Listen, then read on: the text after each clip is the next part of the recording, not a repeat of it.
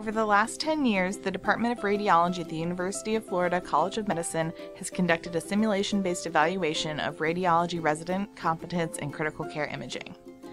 328 residents interpreted this case of calcaneal fracture as one of 65 cases during the 8 hour simulated on call shift, with a median score of 1 out of 10 and an overall average score of 2.27 out of 10.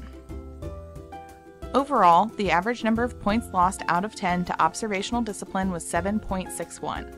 At the same time, 0.06 points were lost due to interpretive errors on the part of the residents.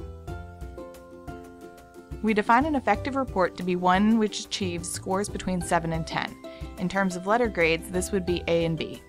In this most missed case, 14% of residents produced effective reports. We define a report having a critical error to be one with scores between 0 and 2. In terms of letter grades, this would be F and D.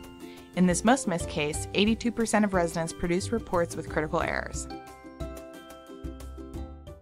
Three views of the right foot in a 66 year old woman with acute pain. Uh, there is an acute fracture of the calcaneus with fracture lines extending to the calcaneocuboid joint as well as possibly to the posterior aspect of the posterior calcaneal facet. Böhler's angle measures approximately 18 degrees, which is minimally decreased. Uh, there's also mild hallux valgus, multifocal degenerative changes, and enthesopathic changes. So this should be given an acuity level of urgent and should be communicated directly to the referring provider. So this is a bit of an eye test, but a radiologist should be expected to pick up this finding. Okay, many calcaneal fractures are accompanied by a decrease in Böhler's angle, but not all.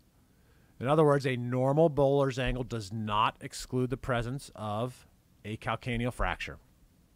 This type of fracture is due to an axial load and has been called the lover's fracture or the Don Juan fracture, so named because the lover may jump from great heights to avoid discovery by the uninvolved spouse.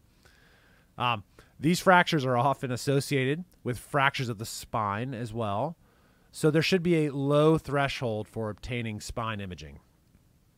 We want to describe involvement of the articular surfaces, and frequently these patients do receive a CT which can better characterize the articular surface involvement.